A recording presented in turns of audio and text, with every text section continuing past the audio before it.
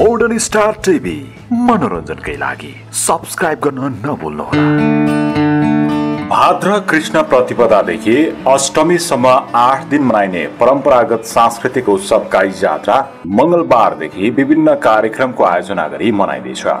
एक वर्षभित्र दिवंगत आफन्तको सम्झनामा विशेष गरी गाई वा मानिसलाई गाईका रूपमा सिङ्गारी आफ्ना इलाकामा परिक्रमा गराइने र उनीहरूलाई श्रद्धालुद्वारा दुध फलफुल रोटी चिउरा दहीका साथै अन्न र द्रव्यदान गरिन्छ। यसरी नगर परिक्रमा गर्नाले वर्षभरि मृत्यु भएका व्यक्ति गाईको पुच्छर समाई बैतरणी पार हुन्छन् भन्ने धार्मिक विश्वास छ। राजा प्रताप मल्लले पुत्र शोकले भाव आफ्नो रानीलाई दुनियाँले पनि यस्तै शोक बेहोर्नु पर्छ भन्ने देखाउन जनतालाई आफ्नो मरेका व्यक्तिका नाममा गाई जात्रा निकाली सहर परिक्रमा गराउनु भनी आज्ञा दिएकोमा यतिले पनि रानीको मन शान्त हुन नसकेकाले विभिन्न प्रकारका प्रहसन र व्यङ्ग्यात्मक कार्यक्रम पनि गराउने आदेश दिए अनुरूप जात्राको प्रचलन चलेको बताइन्छ। त्यसै बेलादेखि प्रचलनमा आएको गाई जात्रा हनुमान ढोका स्थित राजप्रसाद भएर जानुपर्ने प्रथा अहिले पनि कायमै छ।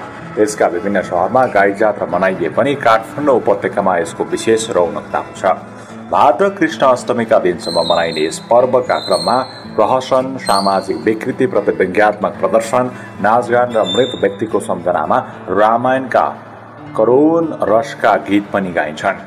व्यवस्थाप्रति व्यङ्ग्य गरेको भन्दै विक्रमसम्म दुई हजार सत्र पुष एक गतेको साईको पछि गाई जात्रामा पनि प्रतिबन्ध लागेको संस्कृतिविद सत्यमोहन जोशी सम्झन्छन्। विक्रमसम्म दुई हजार तेत्तिसमा नेपाल राजकीय प्रज्ञा प्रतिष्ठानले मौसमका रूपमा झाँकी र हास्य व्यङ्ग्य सहित गाई जात्रा मनायो। त्यसपछि प्रज्ञाले सात वर्षसम्मलाई यसले निरन्तरता दियो। त्यस बेलाको घटना सम्झँदै उनले भने हास्य व्यङ्ग्यले बुझ पचाएर जथाभावी गर्नेलाई समेत सचेत र अनर्थतामा सार्थकता झल्काउने संस्कृति जोशीको भनाइ छ। जात्राका क्रममा पाटनमा देखाइने सत्य युगको धान चामलको नमुना तथा काठमाडौँको ठमेलमा स्वर्ग र रजताक्षरमा लेखिएका पुस्तक समेत विशेष दर्शनीय मानिन्छन्।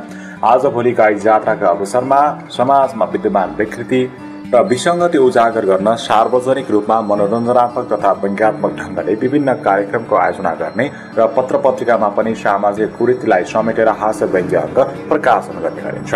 राईजात्रा पर्फ काठमाडौँ उपत्यका लगायत बनेपा धुलखेल पनौती बाह्र विषय त्रिशुली बजार चरीकोट दिगतेल भोजपुर चैनपुर इलाम धरान विराटनगर बिरगज हेटौँडा र पोखरा लगायतका स्थानमा मनाइन्छ।